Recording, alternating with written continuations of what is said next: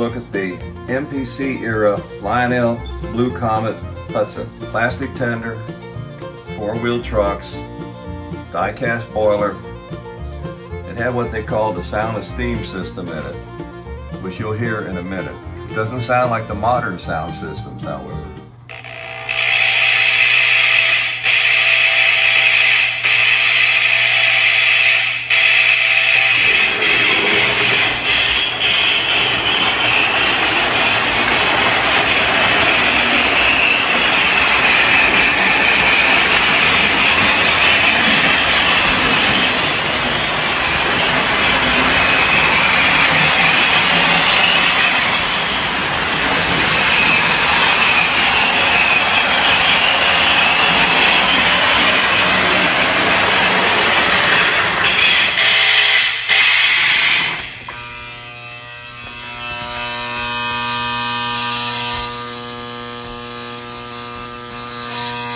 See it smoking.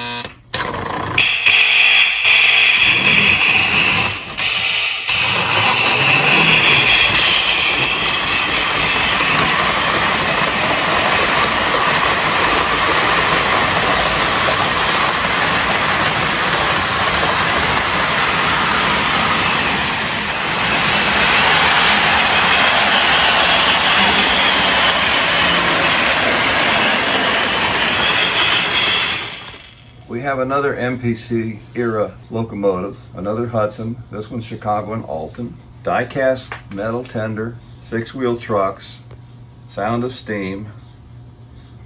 Basically, it has the, the same features as the Blue Comet did, but it's even higher quality because of the die-cast tender. It came with a set of passenger cars, which I also have, but they're packed away.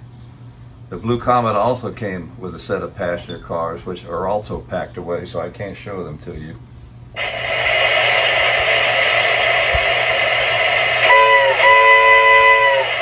That's an MPC era horn. It's electric and not mechanical.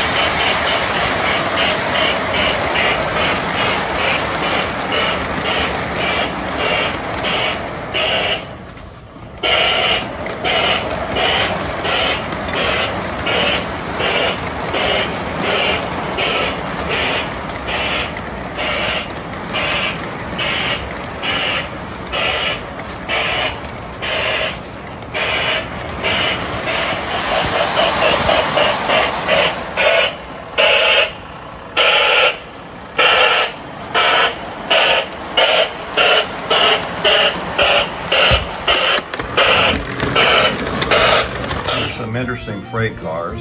This one is I think it was by K-Line.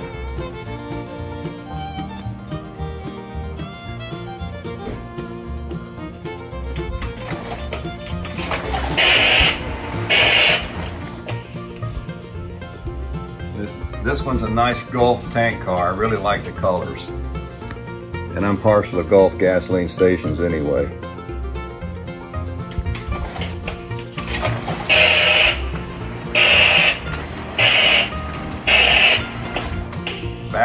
MPC era, they came out with these high-cube box cars.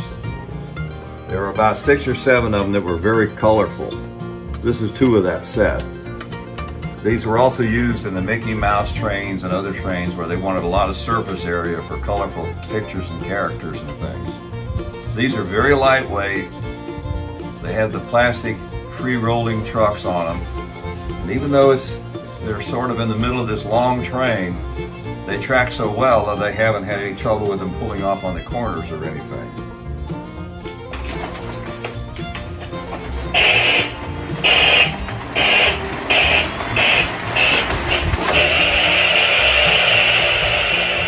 Now here are two cars I particularly like.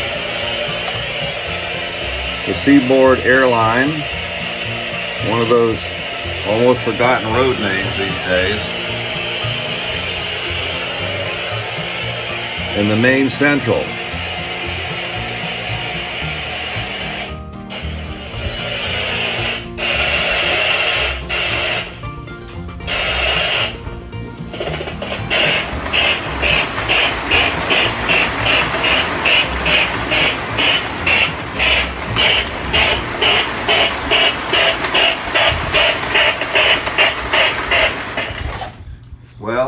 If any of you wonder what those MPC Sound of Steam locomotives sounded like, now you know. Well, my junkyard's filling up. We've added a dinky crane, or is it a Tootsie toy? Let's look and see. Dinky toy. Dinky toy number 752. Somewhere along the line, somebody has repainted it, but that's fine. I didn't have to pay much for it. And now I, now I have a nice crane to go with my junkyard. And as you can see, the junkyard is still filling up with junk. Now, if you saw my Clankety Man Halloween video, you know that it's in this box under this truck that Clankety Man sleeps until he walks again. Perhaps next Halloween go get out of there again.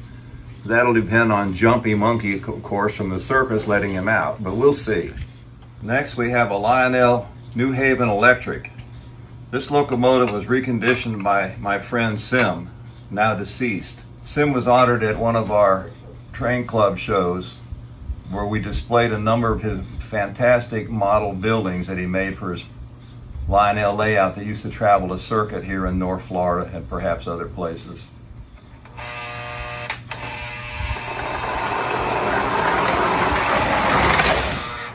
What did we hit that stopped it cold?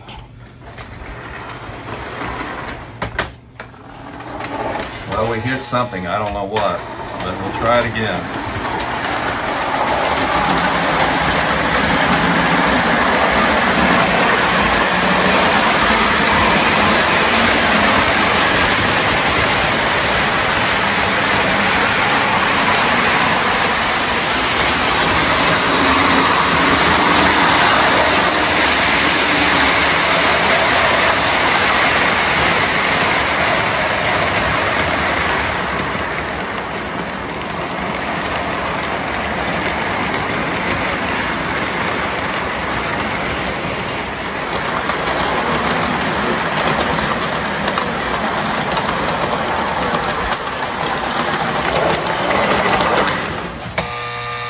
This, of course, is a genuine Lionel era locomotive with magnet traction.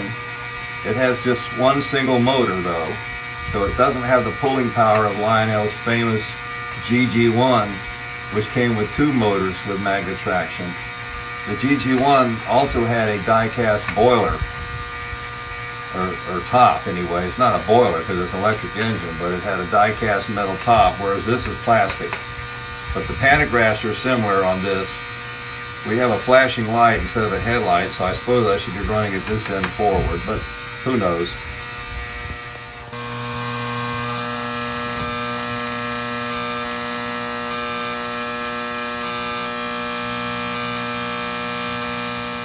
Well, that concludes the display of the MPC era Sound of Steam locomotives.